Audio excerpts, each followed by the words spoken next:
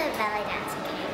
Yeah? Also the instrument was, um, the um, Asian instrument was cool.